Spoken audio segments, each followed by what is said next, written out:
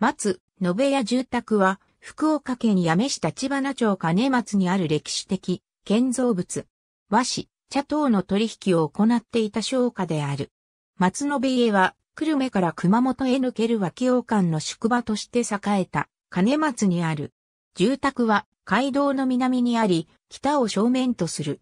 福岡県内に残る古民家のうち大規模で保存も良好なものとして、1977年に国の重要文化財に指定された。建物は東側の土間部と西側の座敷部に分かれる。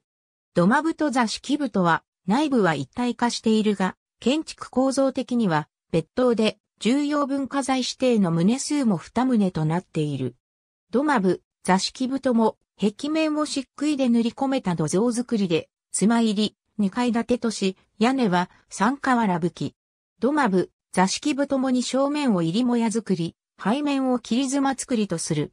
土間部、座敷部ともに両側面にひさし屋根を設け、正面は1階と2階の境にひさし屋根を出す。入りも屋の妻を正面に見せた同型の建物が左右に二棟、並んだ外観に特色がある。建物の平面規模は、桁行きが約13メートル、張間が土間部は約8メートル、座敷部は約10メートルで、土間部は奥に突出部がある。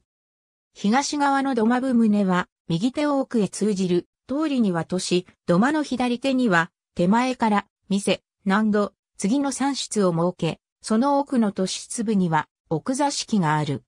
座敷部はおおむね左右2列、前後3列の間取りで、広間、女部屋、仏間、氷座敷などの部屋を設ける。